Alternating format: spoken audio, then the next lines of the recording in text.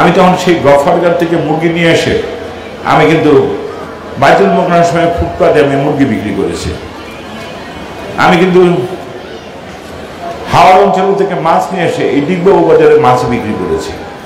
আমি কিন্তু এই ঢাকা নারায়ণগঞ্জ করে চৌমনি পর্যন্ত আমি কিন্তু বাস চালিয়েছি ড্রাইভারি করেছি। পরিশ্রম করেছি, যথেষ্ট পরিমাণ পরিশ্রম করেছি। আজকে এখানে শুধুমাত্র আমার ব্যক্তিগত অর্থায়নে যে স্কুলগুলি করা হয়েছে সেটা দেখানো হয়েছে। এছাড়াও কিন্তু আমি কিন্তু অনেকগুলি স্কুলে সরকারের মাধ্যমে আমরা কিন্তু বহুতল বিশিষ্ট ভবন করেছি।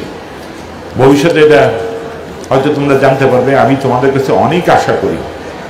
অনেক আশা করি আজকে প্রায় সাত থেকে সাড়ে সাত হাজার তোমরা স্টুডেন্ট এখানে আছো। সাত থেকে সাড়ে সাত হাজার স্টুডেন্ট। আমি কিন্তু এক সময় ঢাকা কলেজ পর্যন্তই আমার শেষ। তারপর কিন্তু পড়াশোনা করতে পারিনি, কারণ আমাকে উপার্জন করতে হবে, না হলে আমার বাবার সংসার চলবে না। না হলে আমার বাবার সংসার চলবে না। এই উপার্জনটা করতে গিয়ে কিন্তু আমি বলব আর দু এক মিনিট। বলব?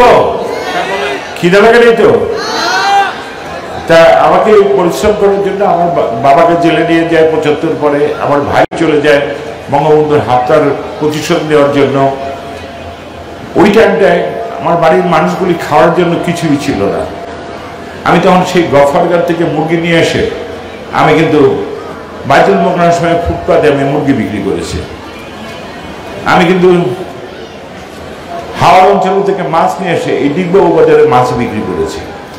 আমি কিন্তু এই ঢাকা নারায়ণগঞ্জ করে চৌমনি পর্যন্ত আমি কিন্তু বাস চালিয়েছি ড্রাইভারি করেছি।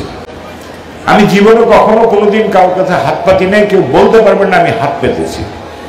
আজকে অনেকে বলেন, আমি বলে ব্যবসায়ীদেরকে শান্তি দিয়ে থাকতে দিই না। ব্যবসায়ীদের টাকা দিয়ে সব করি। কখনো না।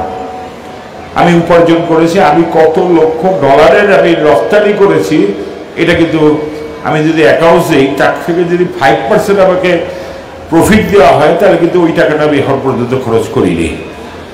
হ্যাঁ এখন এই মুহূর্তে করোনা ভাইরাসের কারণে ব্যবসায়ী বলতে কিন্তু এখন অসহায়। ব্যবসায়ী এখন অসহায় আছে। তার জন্য আমি হাতের কাছে বলছি, হাতে তিন বছর সময় নাও। তিন বছরের ভিতরে আমার ব্যবসায়ীরা হয়তো আগামী বছর ঘুরে যাবে।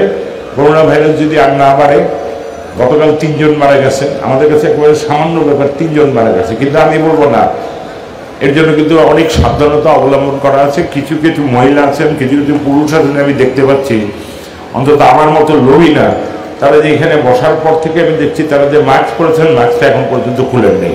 আমাদের প্রত্যেকে ওই ওই জায়গায় যেতে হবে, প্রত্যেকেই মাস্কটা পরতে হবে। শুধু আমার মতো লোভী হয়ে ছবি তোলার জন্য মাস্কটা খুলে দিয়েন না। মাস্কটা খুলে দিয়েন না, আর আমার অনুরোধ এইটুকু রইল, আমি আসব। যখনই কোনো ছাত্র ডাকবে, কোনো ছাত্রী ডাকবে, কখনো কোনো টিচার ডাকবে। যেহেতু এটা আমার এলাকা যেহেতু আমার এলাকা নারায়ণগঞ্জ পাঁচের ভিতরে সীমাবদ্ধতা, যে কেউ অভিযোগ করলে বা তার দুঃখ যদি আমাকে বলতে চান, যখনই ডাকবেন তখনই আমি উপস্থিত হব।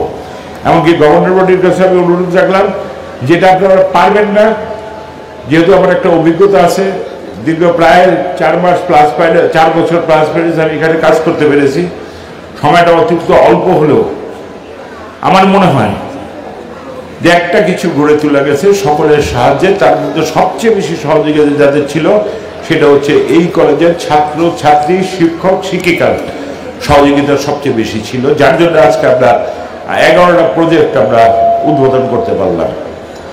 হাতেম সাহেব, আপনার কাছে আমার অনুরোধ রইল ক্যান্টিনটা খোলার ব্যবস্থা করেন, আর সেদিন সবার খাওয়ার ব্যবস্থা করবেন।